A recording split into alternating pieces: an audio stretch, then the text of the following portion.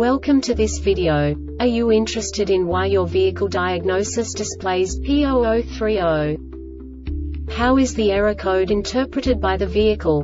What does P0030 mean, or how to correct this fault?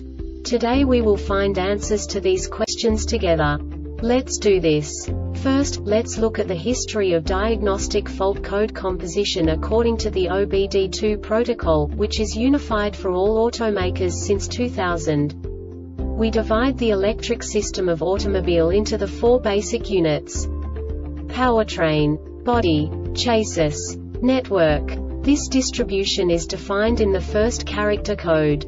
If the second character is expressed as zero, it is a standardized error. In the case of numbers 1, 2, 3 it is a more prestigious expression of the car-specific error. The third character specifies a subset of errors. The distribution shown is valid only for the standardized DTC code. Only the last two characters define the specific fault of the group.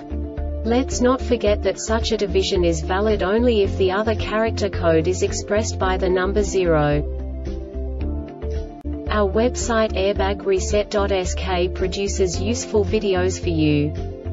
You do not have to go through the OBD2 protocol anymore to know how to troubleshoot any car breakdown. You will find all the diagnostic codes that can be diagnosed in a Dodge vehicles. Also many other useful things.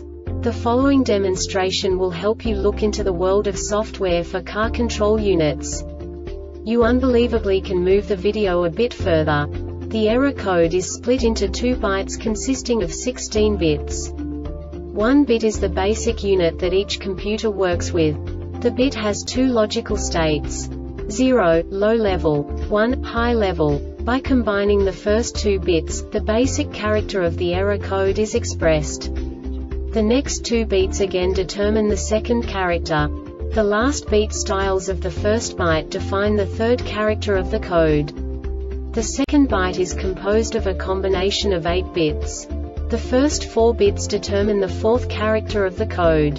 And the combination of the last 4 bits defines the fifth character.